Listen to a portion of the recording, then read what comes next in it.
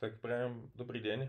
V tomto prvom videu, potom ako som vám včera vlastne pri telefonickom rozhovore rozprával o tom, že ako vám vlastne vytvorím nejaké tie príkladové návody, tak vám v tomto prvom videu vlastne ukážem, ako si vytvoríte kategórie, do ktorých budete pridávať tie jednotlivé články.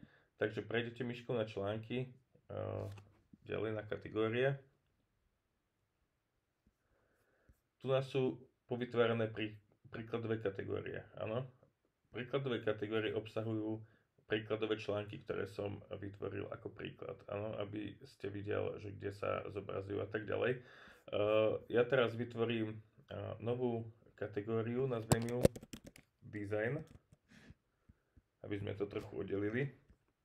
Pridám ju tam. Prejdem na všetky články a prejdem konkrétne na ten článok nový, ktorý ste vytvoril. Kliknem na upraviť v tomto videu nebudem ukazovať, eh, ako vlastne si budete duplikovať tie články, nebudem to miešať. V tomto zobrazím iba toto hlavné.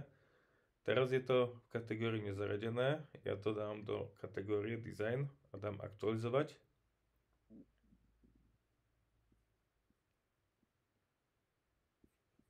Keď si kliknem teraz na vašu stránku Estetika magazín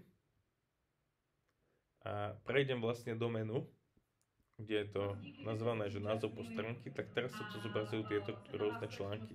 To sú tie príkladové články a nachádzajú sa v príkladovej kategórii 7. My to teraz zmeníme, že sa tu budú nachádzať články, e, ktoré patria do kategórie design. Ano? Čiže idem naspäť do, tej, do toho dashboardu, do tej administrácie. Uh, idem na vzhľad, menu.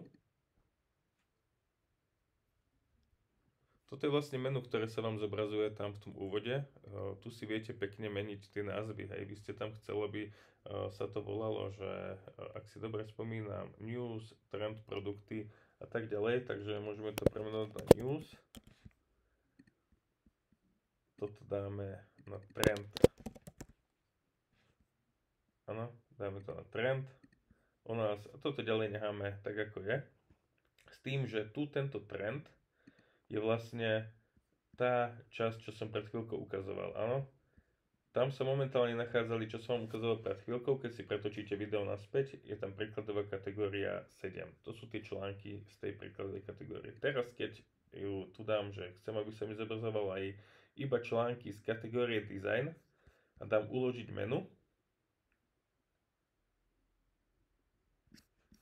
idem naspäť na tú vašu stránku a pozrieť sa na ňu ako návštevník,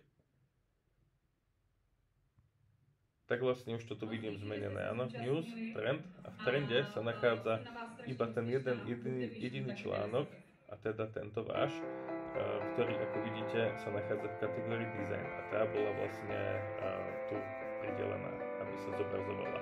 Čiže najlepšie bude, keď bude 5 článkov, ktoré budú z tej kategórie a budú sa tu zobrazovať.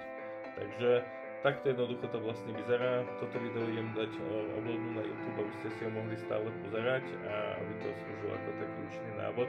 A v ďalšom videu vám vlastne ukážem, uh, ako uh, si môžete duplikovať jednotlivé články. Takže ďakujem za pozornosť.